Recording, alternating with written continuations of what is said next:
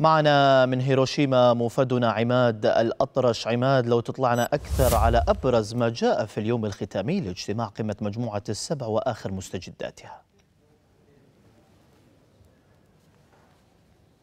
نعم عيسى كما ذكرت تماما اليوم هو اليوم الأخير لهذه القمة التي استمرت على مدار ثلاثة أيام هنا في مدينة هيروشيما. من المفترض بعد قليل عيسى بعد نحو ربع ساعة من الآن أن يعقد رئيس الوزراء الياباني فوميو كيشيدا مؤتمرا صحفيا للإعلان عن ما جرى الاتفاق عليه الاتفاق عليه بشأن هذه القمة. المؤتمر سيعقده في حديقة السلام في قاعة خصصت أيضا لتخليد ذكرى قنبلة هيروشيما. صباحا كان هناك اجتماعان. الأول خصص لأوكرانيا شارك فيه الرئيس زيلينسكي مع قادة دول السبع. وبعد ذلك كان هناك اجتماع موسع.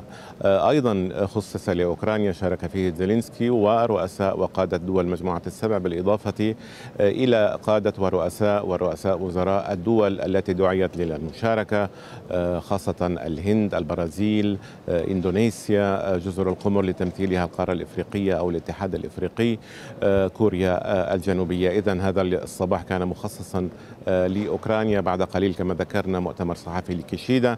وبعد ذلك أيضا الرئيس بايدن سيعقد لقاء مع الصحفيين ولكنه خصص فقط للوفد الإعلامي المرافق للرئيس الأمريكي جو بايدن.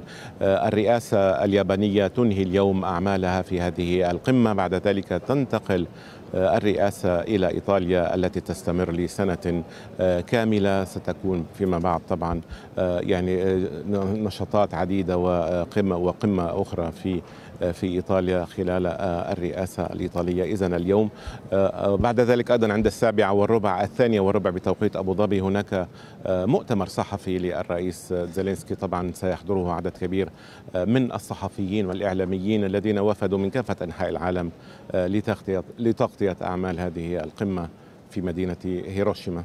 عيسى. نعم مراسلنا أو موفدنا من هيروشيما عماد الأطرش شكرا جزيلا لك.